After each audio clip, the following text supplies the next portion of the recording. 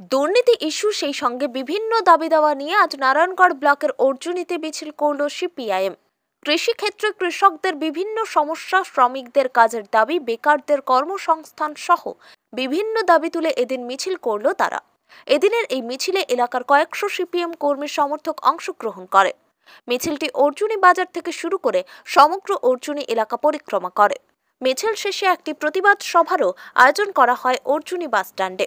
রাজ্যের বিভিন্ন দুর্নীতি ইস্যুকে হাতিয়ার করে এই প্রতিবাদ সভায় বক্তব্য তুলে ধরেন উপস্থিত সিপিআইএম নেতৃত্বরা।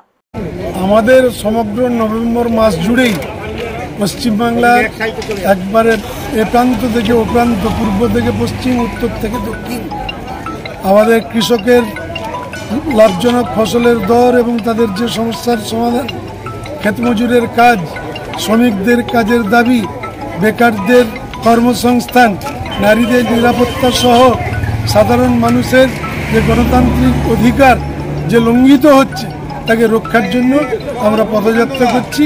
আমাদের স্লোগান, গ্রাম জাগাও চোট তাড়াও এবং অধিকার বোধ জাগ্রত করা হোক হাত পেতে ভিক্ষা না।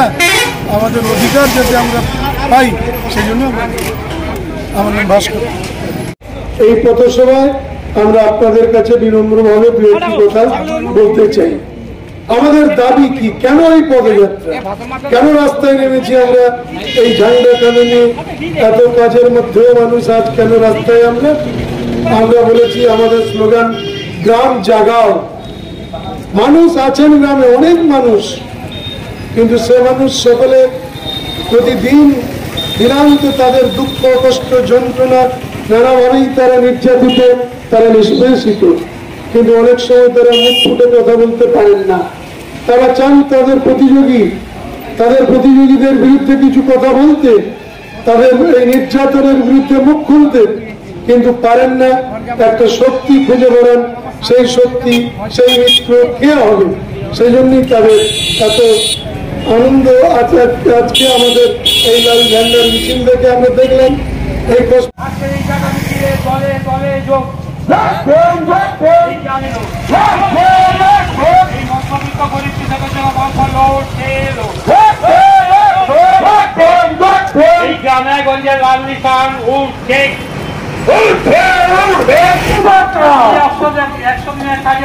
আমাদের রিলায়েন্স পাম্পে শুরু হয়ে কসবা সন্ধ্যা রসলপুর হয়ে হরিবার বুথে এই মুহূর্তে জাটা অবস্থান করছে। এই জাটা অর্জুনী বুথ যাবে। জাঠায় অংশগ্রহী অংশগ্রহণকারী সমস্ত হবে। এই পথসভা শেষ হলে জাঠা আমাদের অর্জুনী যাবে।